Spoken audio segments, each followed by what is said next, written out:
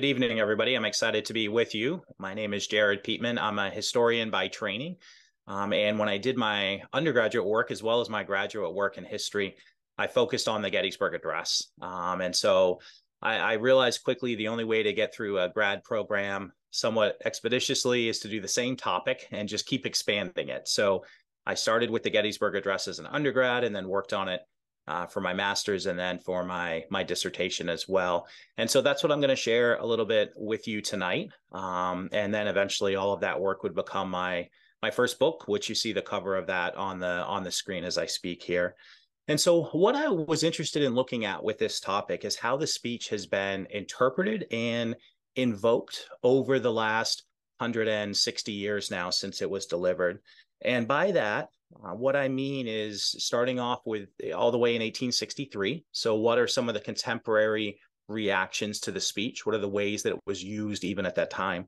All the way up through 1963. And there's a reason that I picked that year in particular. It's not just the round number of it being that first century. So I wrote the dissertation. Uh, it was it was fine. I passed. That was a good thing. Um, and I sent the manuscript off to the publisher, and the publisher said, "Yeah, it, it's good. We like it. We'll take it." But we want you to bring it up to the present. And they asked for a whole nother chapter. And I said, I don't know about writing a whole nother chapter at this point. I was, I was kind of ready to be done. And I said, well, how about I write a, an epilogue, a short epilogue? And they agreed to that. And I added this stipulation, but if I write an epilogue, I'm going to talk about the Vampire Hunter movie because it had just come out. And so if you do pick up a copy and read my book, you will read the last two pages are all about the Vampire Hunter movie and how it has the most accurate Gettysburg Address scene of all time. So I don't know what that tells you about other Hollywood movies that cover Lincoln, but but such is the case.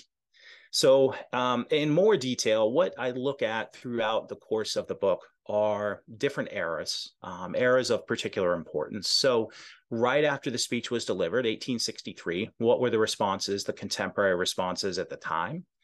What were the responses as we move forward into the early 1900s? The progressive era um, sort of capped on the back end by 1922 and the dedication of the Lincoln Memorial, which of course has the Gettysburg Address inscribed on the wall. Um, the next chapter looks at the era of the world wars, World War One and World War Two. How was the Gettysburg Address used during wartime?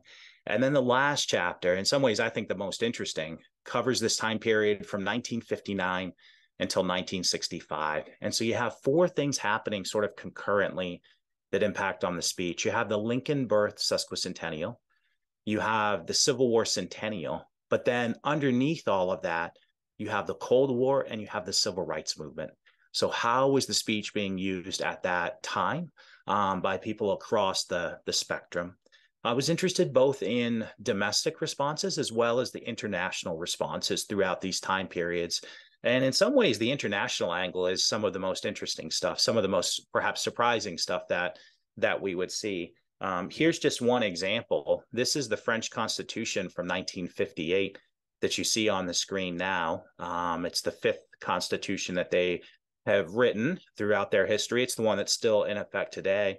And if you're able to make out the writing on that very last line, you'll see that it says, "Son principle A, government to people, par le people, a pour le people, government of the people, by the people, and for the people. This comes from the Gettysburg Address. Um, and it's somewhat shocking today. You know, France is a country that we don't always have the best relationships with, and yet their constitution based on this principle of government of, by, and for the people going back to, to Abraham Lincoln. So a lot of people have been interested in, in um, the ideas that went into the Gettysburg Address. So if you think about Garry Wills' famous book Lincoln at Gettysburg from the 1990s, he's interested about the impact of the the Greeks and you know these ancient sort of orators on Lincoln's style. Other people have looked at the words in particular. Uh, fantastic book that came out the same year as mine. Martin Johnson looked at actually writing the Gettysburg Address and how Lincoln went about that. Um, but not many people have looked at the ideas that came out of the Gettysburg Address most of those books covered it in just a couple of pages. And so that sort of longer term impact is what I was interested in. My argument, in short, is that Lincoln meant the Gettysburg Address as his most eloquent statement that a democracy could only persist if it placed equality at its core. But when you looked at the reactions to the speech for 99 years, people talked about the speech because it was eloquent. They held it up as a great example of, of writing. Or they talked about the speech because it said some great things about democracy. Or they talked about the speech because it said something about equality, but they never really combined all three in the way that Lincoln intended. And so my argument is that for the first almost century, that Lincoln's true purpose is is sort of lost. You know, his intent of the full message he meant to deliver at Gettysburg doesn't get through until we move into the 1960s. So before we get to that piece though, you know, let me sort of make this argument a little bit more on what exactly it was that Lincoln was was trying to do here in Gettysburg, right? Just how important he viewed this opportunity. And the first thing, you know, there's a few controversies that I tried to address um, in the course of my book. And one is when was Lincoln asked? When was Lincoln invited to Gettysburg?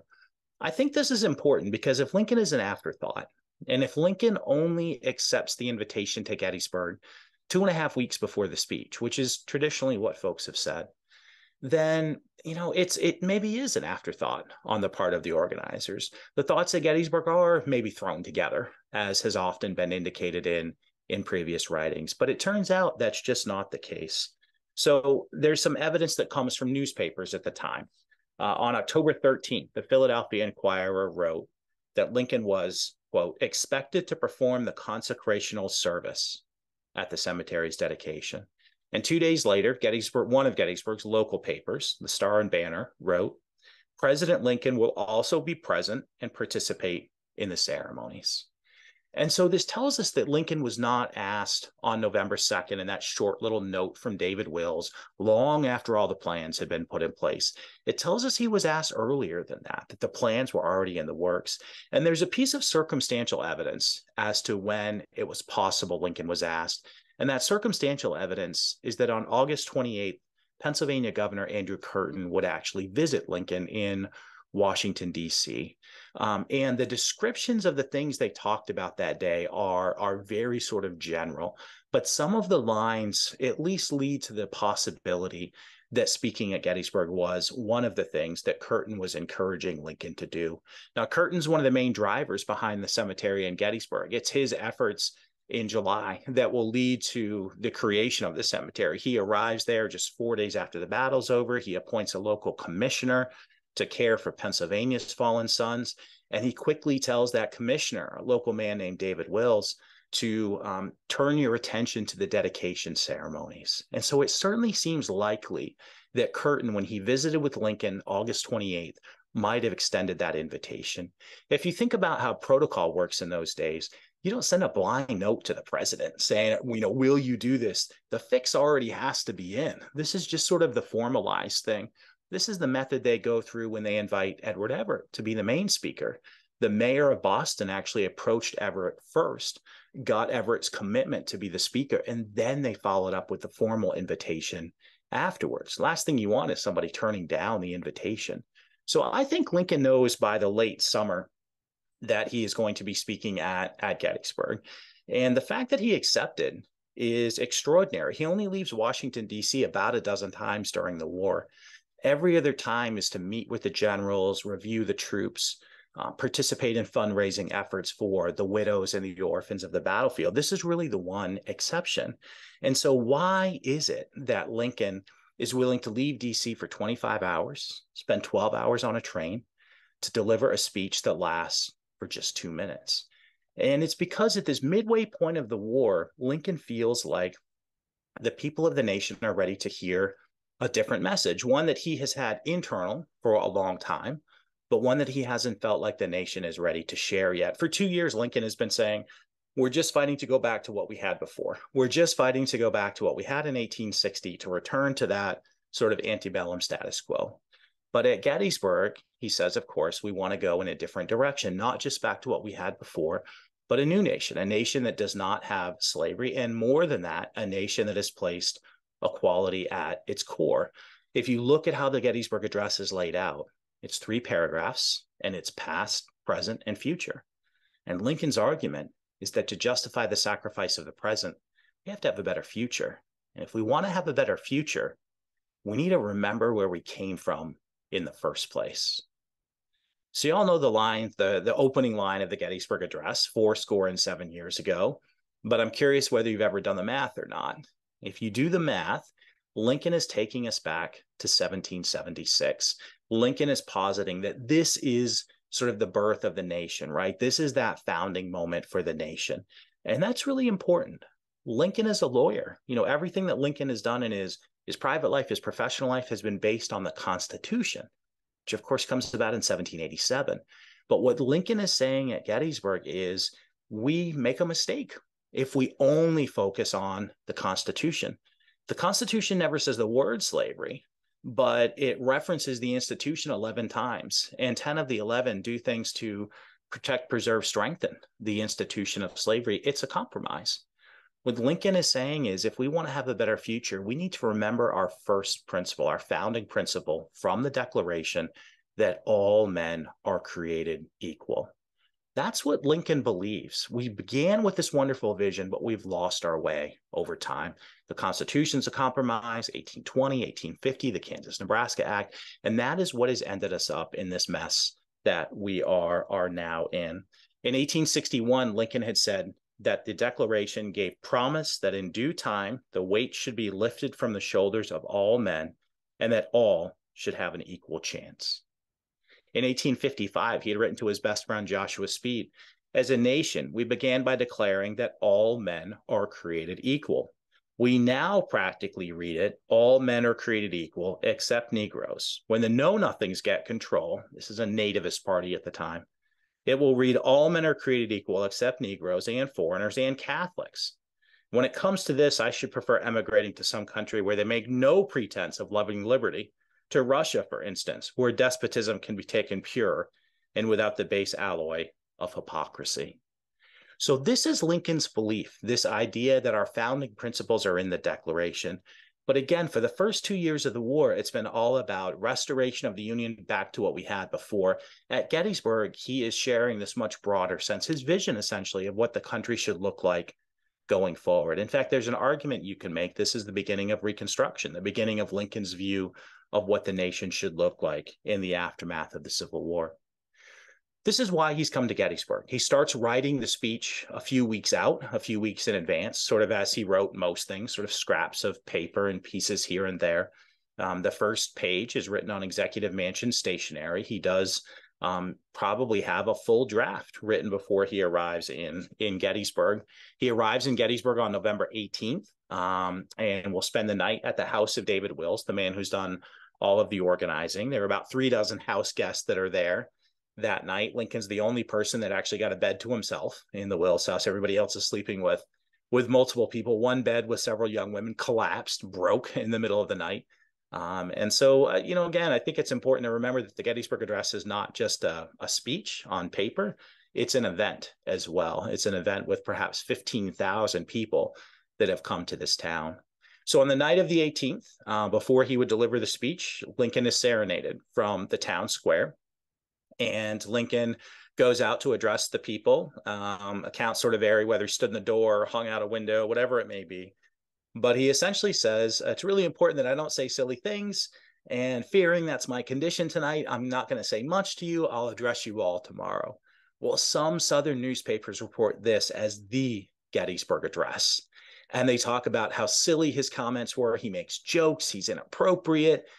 This is why I would suggest you have to take all reactions to the speech with a little bit of a grain of salt. We can see it right here. We know that the next morning, November 19th, Lincoln wakes up very early and he goes on a tour of the battlefield. He goes on a carriage tour of the battlefield. I mentioned Martin Johnson earlier in his fantastic work on the speech. Um, he suggests that the place where Lincoln visits is on the first day's battlefield where John Reynolds was mortally wounded, a, a man that Lincoln knew, that Lincoln had offered the command of the army to um, earlier that summer. And he's so touched by this He's so impacted by this that he returns to the Wills house. He asks for some paper. He rips off the second page that he'd already finished and he re- rewrites the second page of the Gettysburg Address. Three times on that page, he talks about the things they did here. He's now in Gettysburg. You know, he's talking about what they did here in this town He's no longer sitting in Washington, D.C. So he finishes the speech just hours before he'll actually deliver it. I always think it's ironic that school children have to memorize the speech because Lincoln didn't. He actually read it. He hadn't memorized his own speech. Um, and yet we we often have to do that. So, what did it look like at the moment when he delivered the speech? Um, Joseph Gilbert of the Associated Press was there. And this is how Gilbert described the scene. Gilbert says he stood for a moment with hands clasped and head bowed in an attitude of mourning, a personification of the sorrow and sympathy of the nation. Adjusting his old fashioned spectacles, a pair with arms reaching to his temples, he produced from a pocket of his Prince Albert coat several sheets of paper from which he read slowly and feelingly. His marvelous voice, careering in fullness of utterance and clearness of tone, was perfectly audible on the outskirts of the crowd. He made no gestures nor attempts at display, and none were needed. Now, there's a lot of debate as to whether there was applause when Lincoln finished. If you read Gilbert's account from the Associated Press, he has five breaks for applause throughout, and then the notation that there was long continued applause at the end. But after the turn of the century in the early 1900s, Gilbert was giving a speech before the Shorthand uh, Reporters Association, and he said, "Eh, I, I just I added those in to be polite. There actually wasn't any applause at the end." Uh, which is fascinating. And it kind of makes sense though when you think about it. This is a funeral oration that Lincoln is is delivering. I mean, is it appropriate to applaud throughout the course of it? Uh, there was a nine-year-old boy named Charles Baum who was sitting on the the steps to the platform, and in the 1930s would write an account and would actually have it notarized. It was kind of an inheritance almost. He was leaving behind to um, to his children. And Baum would say that the speech was met with profound silence, followed by hearty applause. And that's an interesting way to think about it as well, both maybe in the short as well as in the long term. So, what is the reaction to the speech as we start to move out? And the way that you can find that in the 1860s is really through newspapers, um, more so than than anything else. Um, you know, the handful of people that were there were I'm generally more interested in the event as a whole than you know specific reactions other than just uh, the president spoke it was great. You know there wasn't really anything substantial in the accounts that i've seen anyway of the folks that were there. But you do see editorials that will arise in these different newspapers. And so i took a, an approach of looking at four critical cities. The first is new york. Um, it was the center of news then. It's arguably the center of news now. Um, and New York is where you have all the daily papers. New York is where the AP is located, and it really determines much of how the what the rest of the nation would see when it came to the Gettysburg Address. The second city was Gettysburg itself. There were three local papers in Gettysburg at the time, um, and what did the local folks have to say? The third was Richmond. Um, Richmond had five, five papers that were publishing on a weekly or even daily basis at that moment. Um, and they certainly had things to say. And then last of all, um, foreign. And so looking at London and what did the papers in London and, and Britain writ large sort of have to say about the speech. Um, starting with New York, um, New York really focuses not on Abraham Lincoln. They focus on the man who preceded him, Edward Everett, who delivered an almost two hour oration before Lincoln got up there. Um, there's not much commentary on Lincoln, and what little appears is quite partisan. Um, I'll say that what they wrote about Everett was pretty partisan as well. Everett is from Boston, and Boston and New York then and now uh, are are sort of big rivals. It's maybe more sports now than anything else. And they consistently referred to Edward Everett of boasting Massachusetts. That's how they they sort of described it. And so the New York papers have actually very little to say specifically about the Gettysburg Address. Um, the Gettysburg papers had an awful lot to say about the event writ large, um, but they didn't say all that much that was sort of context based around Lincoln's particular words. What's interesting is even the Democratic editors in Gettysburg are nice to Lincoln, which they typically were not. But given that this event had occurred in their town, and as one of the papers would say about 30 or 40 years later, tourism would eventually become the goose that lays the golden egg for Gettysburg. And I think even early on, there's a reluctance from some of the opposition press to sort of sully their town, right? To, to downplay the speech that Lincoln gave there because they don't want to they don't want to hurt the town. And so they, you know, just say sort of a few fairly straightforward things, but not all that much. It's in Richmond where it gets really interesting. Um, we know that the New York Herald of November 20th, which carried the full text of the Gettysburg Address, as well as about four pages of coverage of the dedication ceremonies writ large, Edward Everett's speech, and others, that the Richmond papers have that by the night of November 23rd. And it's remarkable how fast that news, those physical papers were traveling through enemy lines and, and reaching Richmond. And the very next day, the Richmond Daily Dispatch would write that the day's news was not of much interest, right? So they they actually read this. They read the account. There is direct evidence of that. And they said that what happened in Gettysburg was not of much interest. Uh, a few days later, the Richmond Examiner on November 28th would write in regards to these ceremonies the Yankees have an invincible conviction that they are the successors of the Romans in empire and of the Athenians in genius. Kings are usually made to speak in the magniloquent language supposed to be suited to their elevated position. On the present occasion, Lincoln acted the clown, biting. And then you have the Richmond Enquirer on that same day. And they say this after the order of the day, President Pericles, or rather Abe, made the dedicatory speech, but had to limit his observations within small compass, lest he should tell some funny story over the graves of the immortals. That seems to be a reaction more to the quick little words Lincoln had said on the night of November 18th than on the 19th. What's interesting is that the Richmond papers have the words, they have the text of the Gettysburg Address and they are refusing to provide it for their people. In fact, when I looked at um, every extant paper I could find in the South during this time period, 1863, there's only one paper out of Lynchburg that would publish any of the words of the Gettysburg Address. This one Lynchburg paper published half a line from the speech, and that's it. They have basically censored the words, and we know that they had them. They're in the New York Herald where they're drawing other accounts from. So why would they do that?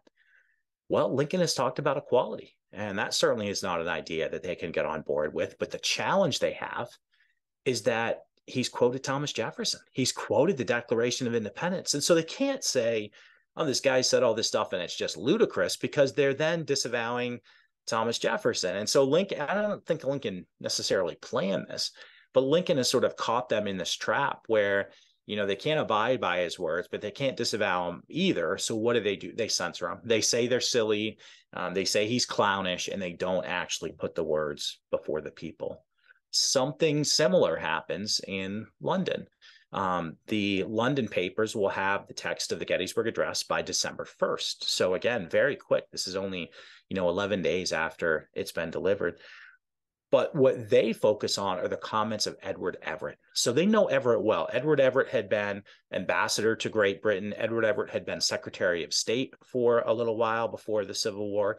And in his two hour speech, Everett had talked about the causes of the war, the um, course of the war thus far, and he had made a comment in that speech that England was littering the sea with pirates, that they are allowing the Confederates to build these warships that were then attacking um, American ships and that they were engaging in or they were allowing people to engage in piracy.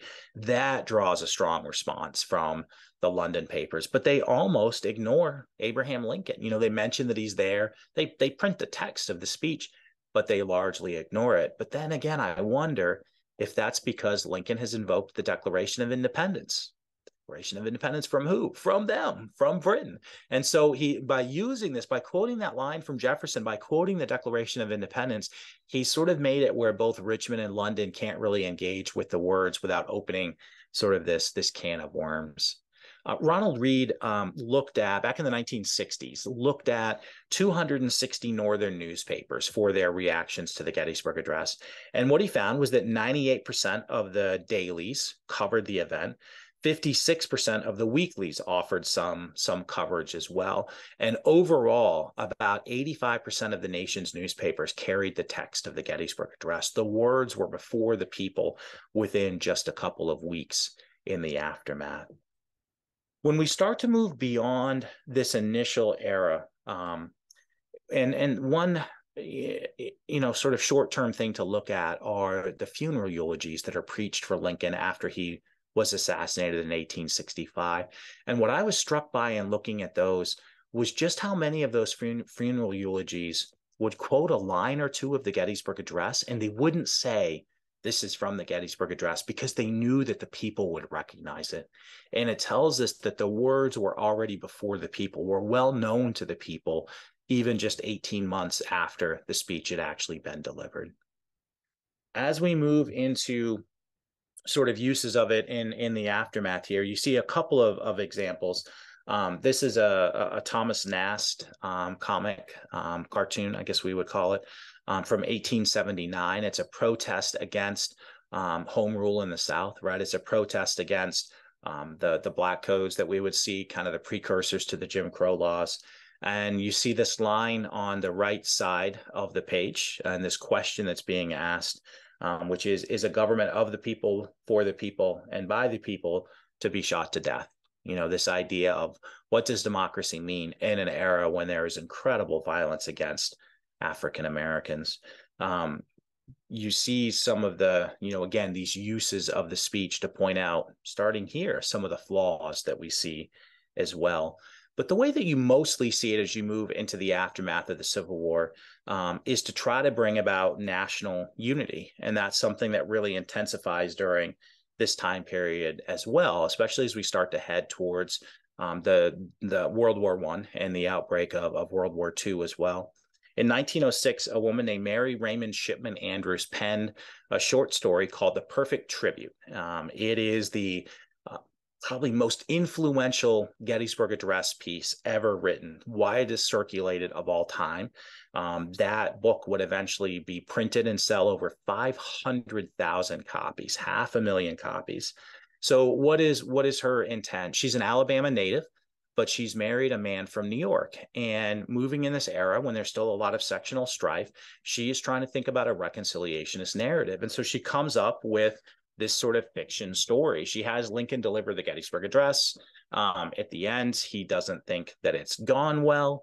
Um, he returns to Washington and he's kind of frustrated. He goes the next day to a hospital where there's some wounded Confederates, and there's one man who's been blinded by his wounds, doesn't know who Lincoln is, and he just thinks that Lincoln is a kindly, you know, kind of older man, a lawyer who's walking around. And the guy says well let me let me tell you the words of the president yesterday because they were so impactful. They'll live on. School children will be learning this 50 years from now. And it's this southern man that convinces lincoln that he hasn't failed. Now of course this is all just completely made up um, but this becomes one of the more dominant narratives that we would see all the way up until the 1960s. In fact, if you've ever heard the story that Lincoln penned the Gettysburg Address on the back of an envelope on a train on the way to Gettysburg, it came from Mary Raymond Shipman Andrews. That's part of the, you know, the story that she has constructed here, but it gives you a sense of just how pervasive this story ultimately would become. But her intent is to do something to try to pull the different sections of the country back together. And she certainly is not the only one during this time period. In 1913, Woodrow Wilson came to Gettysburg on July 4th, 1913 and he said during his speech that day, how wholesome and healing the peace has been. We have found one another again as brothers and comrades in arms, enemies no longer, generous friends rather, our battles long past, the quarrel forgotten. Sounds great. It's not true at all, of course, right? There still is incredible sectional strife at that time period, and some would point it out. Um, the Baltimore Afro American Ledger would write the next day uh, they would sort of pose a, a, question as to quote whether Mr. Lincoln had the slightest idea in his mind that the time would ever come when the people of this country would come to the conclusion that by the people he meant only white people. And so you're starting to see the Gettysburg Address used to try to pull the country together, but then at the same time used by other folks to point out some of the flaws in the nation as well. And so you see these sort of uh, I called it in my book the narrative and the counter narrative, right? Sort of the the ways the dominant majority perhaps is using the Gettysburg Address, and then the way that it's being used by by other folks at the same time. Ironically, the Black press was joined in their questioning of the uses of the Gettysburg Address by lost cause devotees as well, though. Um, Southern woman Mildred Rutherford wrote uh, in a book called The South Must Have Her Rightful Place in History in 1923 um, that Lincoln's biographers pose him as a highly educated literary personage. And the Gettysburg speech, which Seward wrote afterwards, is put into every collection of great speeches and attributed to Lincoln, not Seward. So strange bedfellows that you have here, right? The Baltimore Afro American Ledger and Mildred Rutherford and and her view. Um, but this broader idea that that most folks are pushing that time of of unity, right, of reunification. You see it played out on the Lincoln Memorial that was created and dedicated in 1922. That memorial, which has the text of the Gettysburg Address etched on its walls, says, "In this temple, right above Lincoln's head, says, in this temple, as in the hearts of the people for whom he saved the Union." The memory of Abraham Lincoln is enshrined forever. Nothing about equality, nothing about the end of slavery, just simply saving of the Union. The author of that phrase wrote By emphasizing his saving the Union, you appeal to both sections. By saying nothing about slavery, you avoid the rubbing of old sores. So during this era, almost all the invocations you see of the Gettysburg Address are about national unity. And little would differ during the world wars, not surprisingly. This is an example of a war poster that's created to encourage people to buy Liberty bonds in 1917. And in fact, in June of that year, as the first Americans arrived in France, the Times of London observed the men in these ships and the millions they left behind them know well what is the cause for which they are ready to sacrifice their all. They are fighting that this world under God shall have a new birth of freedom, and that government of the people, by the people, for the people, shall not perish from the earth. And for that cause, they will fight to the death. Well, that's what the Times was hoping anyway, right? For the for the assistance that the American soldiers would provide from 1914 to 1918 during World War One, and then 1939 to 1945 during World War II, the Gettysburg Address was evoked more often and for greater purpose than ever before. As the Times editorial suggests, these invocations really took three main forms. The first, and you see displayed on the screen here, is to encourage Americans to sacrifice their bodies and their pocketbooks in defense of Lincoln's nation. The second use of it is to explain to international audiences why the United States had joined the Allies, this defense of, of democracy. And the third use of it is coming from the other directions. Foreign nations would use the Gettysburg Address to make common cause with the United States, to claim sort of a shared inheritance. And Britain does this constantly throughout the 1913, 1914 era to show an appreciation of the ideals, the values that America stands for. The Gettysburg Address during this period is far reaching but limited at the same time. The Gettysburg Address becomes global really during this particular era, but it's only about democracy. It is completely downplayed the role of equality in this vision that Lincoln had as well. So, again, far reaching but sort of limited. One of the fascinating examples from this general era, though it goes past it just a little bit to the beginning of the Civil War, um, is this stamp. So in 1950, the Crusade for Freedom would present to the people of West Berlin a Liberty Bell to honor their fight against the institution of communism. So it's a Liberty Bell that is meant to be a replica of the bell in Philadelphia, but they added a line from the Gettysburg Address to it. And you can see it portrayed on the stamp a new birth of freedom. So it is pulling together both of those things. And then in 1951, West Berlin would turn this into a, a, stamp, and that's what you now see on the screen. The irony is that this stamp, this denomination, just 10 years earlier, had carried the image of Adolf Hitler. And so they are literally replacing totalitarianism, replacing Hitler with the ideals found in the Gettysburg Address. This really fits into a theme from this general era, um, era of the Cold War Um, when Eisenhower came into the presidency in the early 1950s, um, he was very concerned about uh, the story that was being told to the world about what America stood for. And one of the agencies that Eisenhower really sort of boosted during this time period was the U.S. Information Agency or Service, depending on um, the time period we're talking about. And, and by decade's end, it would have a, a budget of $100 million a year with that motto, telling America's story to the world. But in the late 1950s, it's not always a great story to tell to the world. Um, this is the era of Emmett Till. This is Little Rock. Um, and so, what what does America stand for? In Japan, one man asked, "If Americans can regard Negroes as inferior, how do you think they really regard Asians?" And that is a huge foreign policy problem. So, how do you get around that? Eisenhower thinks one way that you get around it is by bringing the focus to Abraham Lincoln. And in 1957, he authorizes the appointment of an Abraham Lincoln Sesquicentennial Commission that will organize activities both domestically and abroad to bring um, to bring Abraham Lincoln to prominence, to try to use Lincoln as a tool to win the Cold War. The Gettysburg Address plays a massive part in that. Um, they, uh, the U.S. Information Service, along with the State Department, would create these translations of the Gettysburg Address into a variety of, of, different languages. This is the Vietnamese translation, but there are Chinese translations. There are, are dozens of them. Um, and they produced 50,000 copies of this. And anybody, any foreign dignitaries that came to the United States, any sort of exchange programs, they would leave with a copy of the Gettysburg Address in their native language and go home with that. Going even a step further, in 1959, the U.S. Information Service, along with the Abraham Lincoln Birth Sesquicentennial Commission, created a comic book on the life of Abraham Lincoln. It's about 35 pages long. It has on the inside cover the complete text of the Gettysburg Address. It talks about when they get to the right spot here, that's what you see on the screen.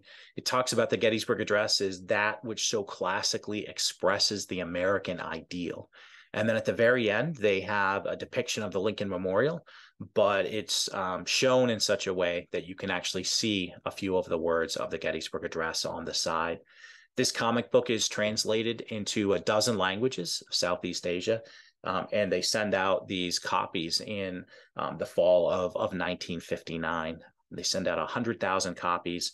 They send 30,000 to Saigon, Vietnam. They are literally trying to stop the dominoes from falling by reminding people of what a government should look like. The government that Lincoln defined in Gettysburg in the address. That is what people should believe in.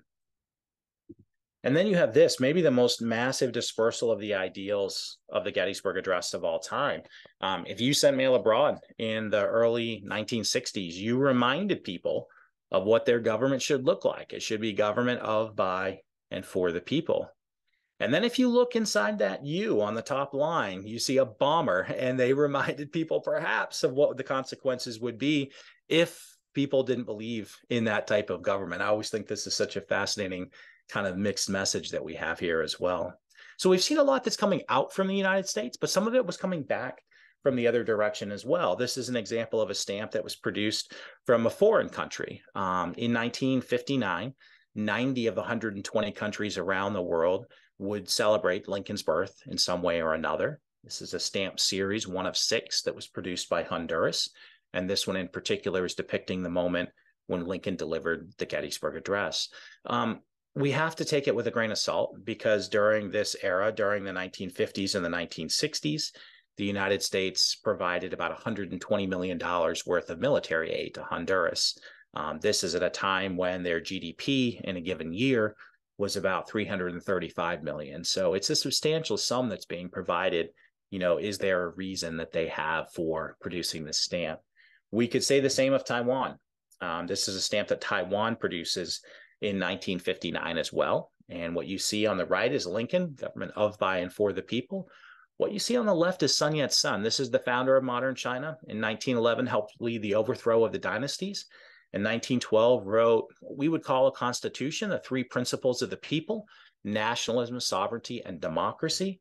Those ideals came from the Gettysburg Address government of, by, and for the people. He says this explicitly in his autobiography that, that that is where he came up with, with these particular ideas. Taiwan at that time, again, another nation that has reason for trying to cement these ties with the United States, but nonetheless, we are seeing these come back in um, from from the other direction. When we think about the late 50s and the early 60s, the incidents that are paramount in the mind of Americans, the U 2 incident, the Berlin Wall, um, the Bay of Pigs, the Cuban Missile Crisis, that is really what people are thinking about. And in that context, in a context where it's the, civil, the Cold War that is reigning supreme, thinking about the message of democracy that comes from the Gettysburg Address makes a lot of sense. But slowly, 1961, 62, 63, um, that focus starts to shift. It gives way to concern about violence at home, particularly on the heels of the children's protest in Birmingham, Alabama, the murder of Medgar Evers in Mississippi, and the tide starts to shift. Memorial Day 1963 brings Vice President Lyndon Baines Johnson to Gettysburg. And in his speech that day, Johnson started with the Cold War theme he said, until the world knows no aggressors, until the arms of tyranny have been laid down, until freedom has risen up in every land, we shall maintain our vigil to make sure our sons who died on foreign fields shall not have died in vain. But then he shifts tones. He says, 100 years ago, the slave was free. 100 years later, the Negro remains in bondage to the color of his skin. The Negro today asks justice. Finally, Johnson noted the place of the Gettysburg Address in the national pantheon. He said, Our nation found its soul and honor on these fields of Gettysburg 100 years ago. We must not lose that soul in dishonor now on the fields of hate. This marks a turning moment, a turning moment when people aren't just talking about the Gettysburg Address in terms of democracy anymore, but in terms of equality as well. It's a turning point that we see further that November during the centennial celebrations of the Gettysburg Address that were held when Secretary of State Dean Rusk would actually travel to Gettysburg. And he offered a clear analysis of the importance of the speech then and in the 1960s. Rusk said this The central commitments of the American experiment are probably known to more people in other lands through the words of the Gettysburg Address than through those of the Declaration of Independence. He continued, Our commitments to freedom are the source of our foreign policy. They explain also our concern about our failures here at home to live up fully to our own great commitments. The rest of the world is watching closely the struggle for full equality in this country. Our failures distress our friends and hearten our enemies. And so, this is the period, I argue, when the full meaning of the Gettysburg Address is recaptured. It had been lost for 100 years. When Lincoln went to Gettysburg, his argument was that equality was central to the Union that if you wanted the union to persist, you had to have equality at its core. When you look at the Cold War era, um, equality has become central to winning the Cold War as well. The lack of equality, the terrible race relations in the 1950s and the 1960s were something that the Soviets were using to encourage people in other nations not to ally with the United States, but to ally with them instead. And so finally, in late 1962, shifting into 1963, you start to have the recapture of Lincoln's intentional or original message. He meant the Gettysburg Address to be his most eloquent statement that democracy could only persist with equality at its core. And after a century, the message finally seemed to get through. So, with that, I'm going to pause and throw it open to any questions that you all may have.